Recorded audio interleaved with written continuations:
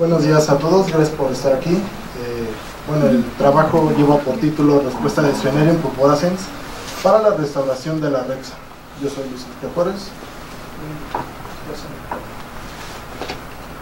Como sabemos, los disturbios pueden ser definidos como alteraciones de la estructura del ecosistema por un factor externo. Este puede ser natural, como es el caso de las sequías, o puede ser antropogénico, como es el caso de la introducción de especies. Un caso particular en cuanto a la introducción de especies es el género Eucalyptus, el cual es originario de Australia y entre sus tantas características que tiene, cabe resaltar de que es de rápido crecimiento, tiene una alta producción de terpenos y fenoles y a su vez consume una alta cantidad de agua. En el particular caso de Ciudad Universitaria, esta introducción de este, de este género ocurre en 1951. Se ha estimado que la tasa de crecimiento poblacional es cerca del 9.22% y de acuerdo a datos de Burciaga de 1995, en el periodo comprendido de 1951 a 1987, el área que ocupa los árboles de este género eh, alcanzó cerca del 8% de la recha, que es algo así como 12 hectáreas. Ahora bien, los artrópodos responden al disturbio y particularmente en este caso de los eucaliptos, debido a que, bueno, como ya se ha visto en diversos estudios, por ejemplo, en, un bosque de Yamel de California se vio de que los artrópodos se ven disminuidos en términos de riqueza y abundancia, particularmente en artrópodos herbívoros y no nativos. A su vez, en un estudio realizado por Peña y colaboradores del 2009, observó que los eucaliptos pueden provocar efecto de sombra y esto disminuye las poblaciones de los chapulines.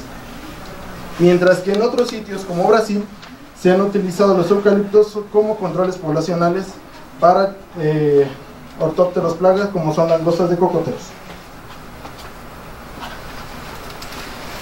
Debido a esto, es necesario tener una herramienta para poder medir qué tanto se afecta la, eh, qué tanto se ha afectado la recha y cómo podemos medirlo. Para eso vamos a, bueno, nosotros proponemos el sonido por como un bioindicador. Esto debido a que es un ortóptero abundante en México, de hecho se maneja que es el ortóptero más abundante en el país, tiene un ciclo de vida anual de mayo a enero, suele estar asociado a pastos anuales y prefiere sitios abiertos y planos para la oviposición. Por tanto, el objetivo de este trabajo es conocer el efecto de la remoción de eucaliptos como opción de restauración ecológica sobre las poblaciones del ortóptero Sphenarium purpurascens.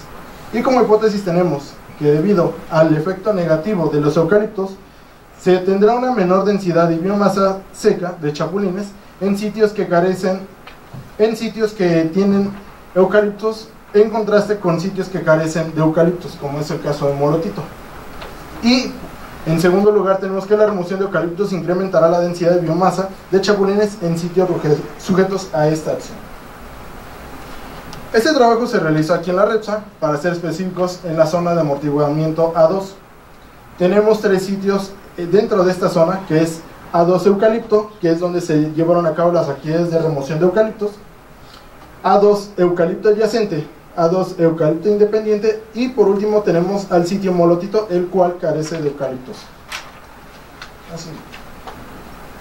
el muestreo se hizo en tres etapas comprendidas en septiembre del 2007 del 2017 perdón previo a la remoción de eucaliptos en octubre del 2017 posterior a que se realizó esta actividad y en septiembre del 2018 un año después de que se realizaron esas actividades Dentro de cada sitio se diseñó una parcela de 40 por 40 metros y dentro de cada uno se escogieron 20 cuadros al azar de un metro por un metro. En cada cuadro se realizó un conteo de ortópteros visibles durante un minuto y posteriormente se realizó la captura de los ejemplares con una red de golpeo durante un minuto. Posteriormente los individuos se secaron y se pesaron. Para analizar estos datos se realizaron andevas de dos vías, los datos se transformaron con esta fórmula debido a que no cumplían los supuestos para realizar este análisis estadístico.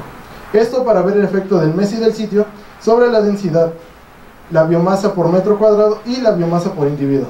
en caso de encontrarse un efecto significativo, se realizaban pruebas de Tukey. En total se, se capturaron 1.202 chapulines, resaltando que en septiembre del 2017 se obtuvo la mayor abundancia de estos ejemplares, mientras que por sitio en Molotito se obtuvo la mayor cantidad de chapulines.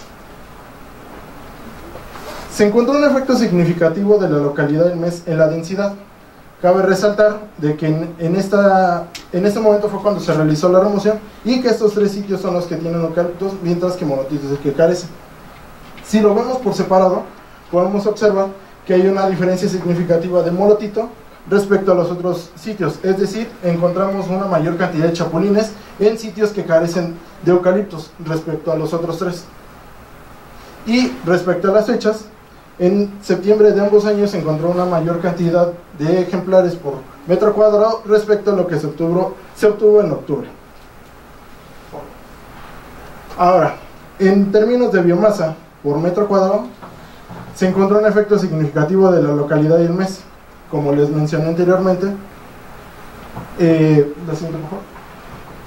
Esto se vio muy marcado respecto a los sitios que tienen eucaliptos contra el que carece de eucaliptos.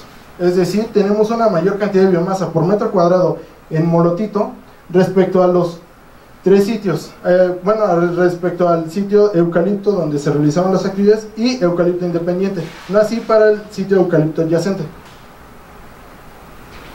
Mientras que en cuanto a la fenología, se encontró que en septiembre del 2007 se encontró una mayor cantidad de biomasa respecto al mes de, bueno, al muestreo de octubre y al muestreo que se realizó un año después.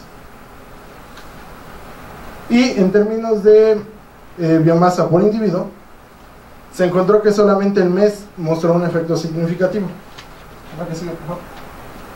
Encontrándose que, al igual que en términos de densidad, en septiembre de ambos años se encontró una mayor biomasa por individuo respecto a lo que se encontró en octubre. Bueno, eh, retomando estos datos, podemos decir que la biomasa es menor en sitios con eucaliptos, tanto la biomasa como la densidad. Esto pudo deber, deberse a la baja disponibilidad de recursos, debido a que, como ya les mencioné, como los eucaliptos tienen la producción de terpenos y fenoles, pueden disminuir la cantidad de pastos presentes a los cuales están asociados los chapulines. Asimismo, el efecto de sombra generado por la presencia de estos árboles puede disminuir las poblaciones de chapulines. Y como ya les había mencionado, eh, también se ha visto que la presencia de estos, de estos árboles pueden fungir como control poblacional, control poblacional para algunas especies de ortópteros que pueden ser plaga. Ahora, en términos de su fenología, esto coincide con lo que reportó Cano Santana del 94, debido a que la mayor densidad se encontró de julio a septiembre, mientras que la mayor biomasa se está reportando en octubre, que esto es lo que coherente con lo que hemos encontrado en este estudio.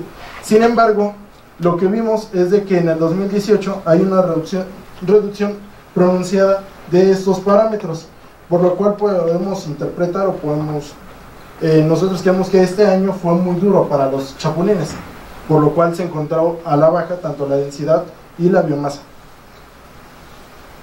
Y para finalizar, pues la densidad disminuye en sitios con eucaliptos y la talla de los ejemplares no cambia con la presencia de los eucaliptos pero sí vemos una, tendencia de que la biomasa por metro cuadrado es mayor en sitios libres con eucaliptos y que la densidad y la biomasa de los champulines no ha cambiado en un año a las actividades de remoción que se realizaban en el sitio A2 eucalipto. Y de mi parte sería todo. Muchas gracias